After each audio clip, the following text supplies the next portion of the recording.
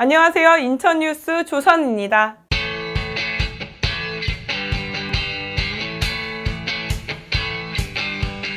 인천시 강화군은 정원예술학교 일기 수료식을 개최했습니다.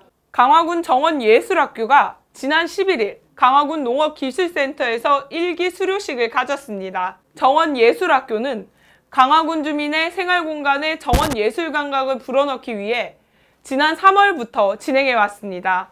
이번에 수료한 정원예술학교 일기 수강생은 총 22명으로 3개월간 한 명의 포기자도 없이 전원이 수료했습니다. 또한 교육 내용을 본인들의 정원에 적용해 새롭게 정비한 곳들도 있으며 그중 특히 프랑스풍의 등대 정원을 새롭게 정비한 펜션 정원과 스페인풍의 문화공간 건물과 조화를 이룬 카페 정원을 새롭게 탈바꿈시킨 사례가 눈에 띕니다.